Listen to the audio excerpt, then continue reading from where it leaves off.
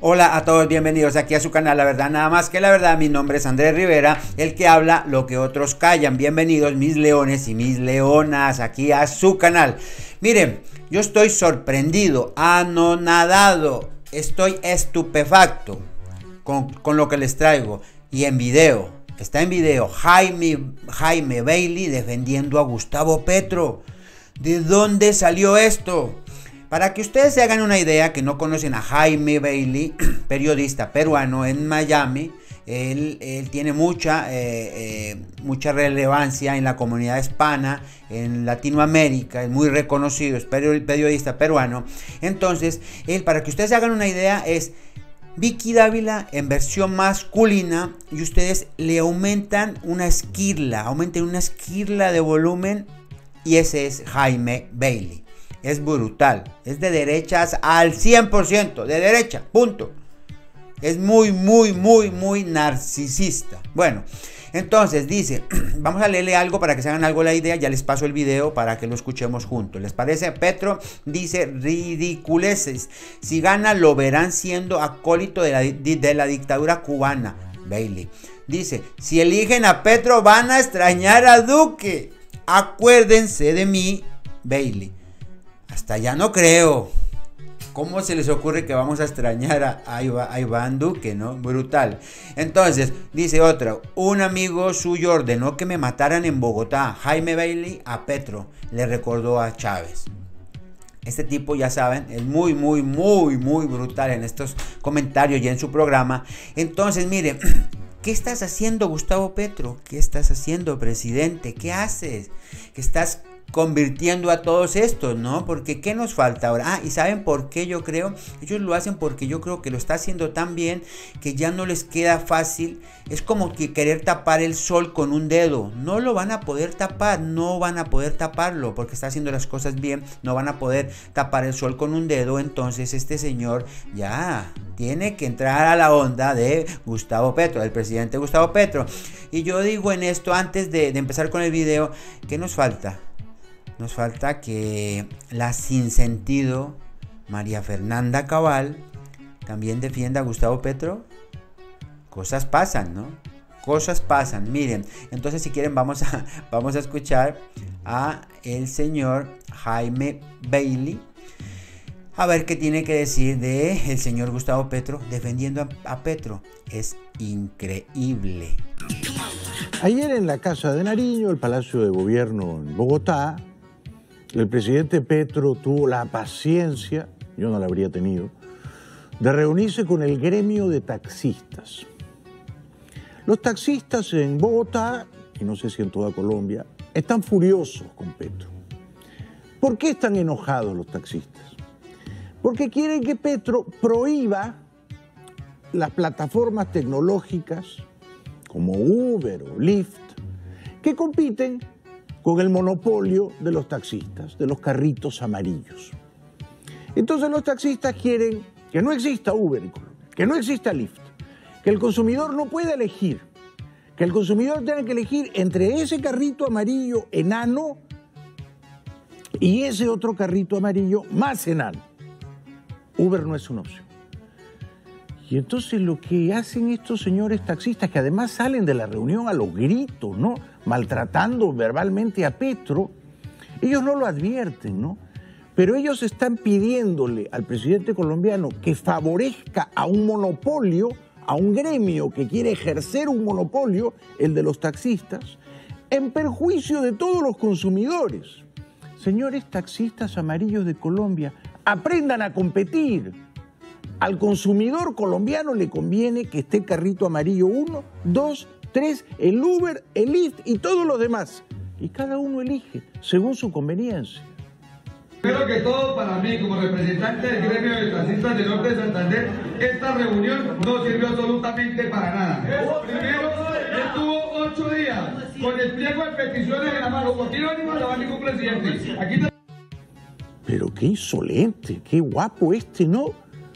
Que le da un ultimátum de ocho días al presidente Petro y que sale a los gritos y con amenazas, dándole ocho días.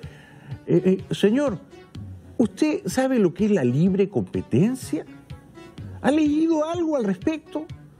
Usted sabe que las sociedades que prosperan son aquellas que permiten la libre competencia. Bueno, al consumidor colombiano, al individuo que toma un taxi, le conviene esa libre competencia. Quizá a usted no, pero al consumidor sí.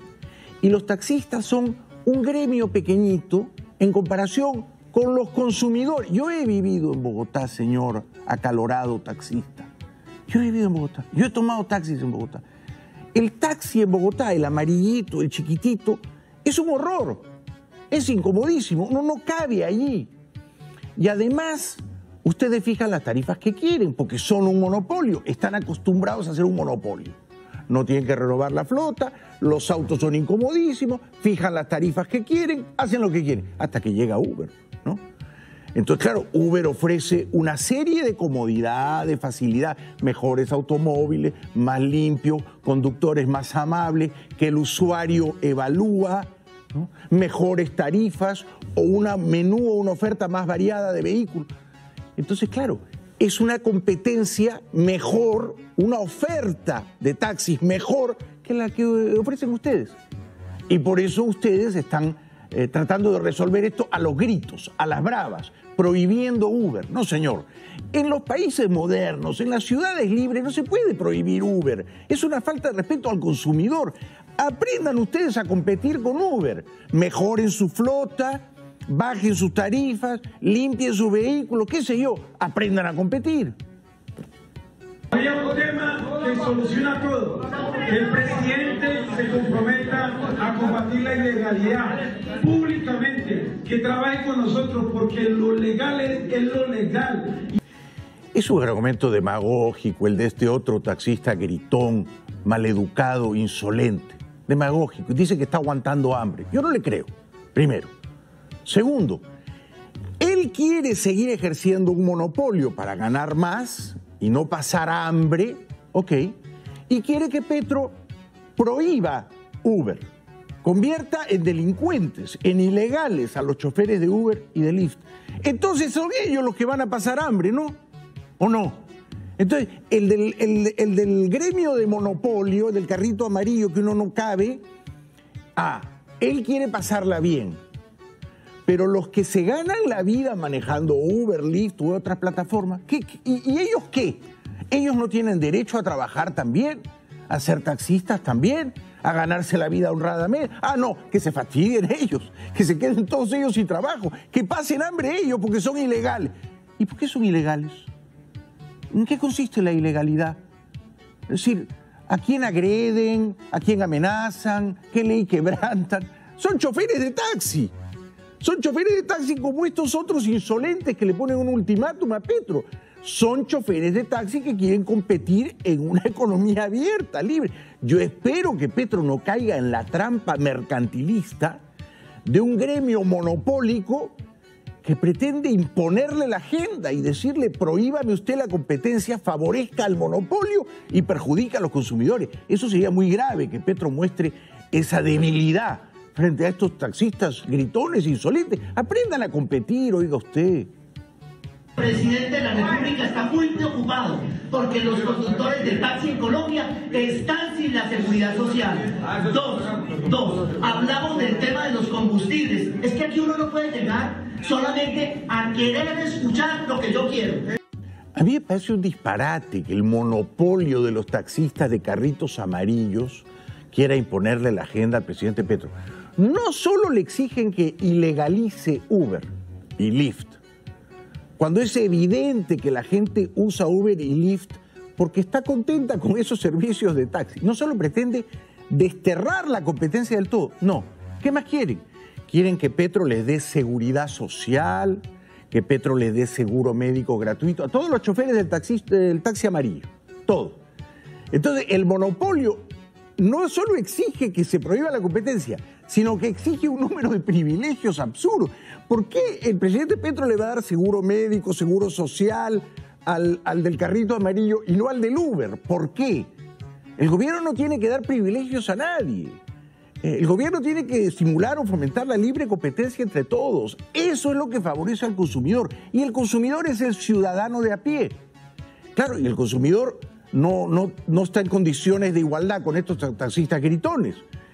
Pero estoy seguro de que si hacemos una encuesta en Bogotá, un montón de gente diría, yo no quiero que me prohíban mi Uber, yo quiero usar mi Uber, ¿no es cierto?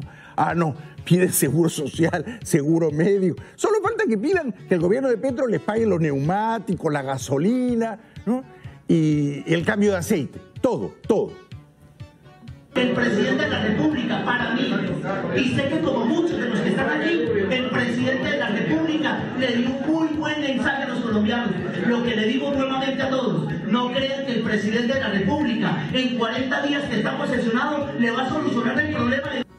La verdad que Petro este, ha hecho, ha quedado como el Dalai Lama, ¿no? porque yo no me hubiera reunido con esos eh, monopólicos taxistas abusivos, no me hubiera reunido con ellos les hubiera dicho, mi gobierno está a favor de la libre competencia. Arréglense ustedes. Bueno, vamos a la pausa y regresamos.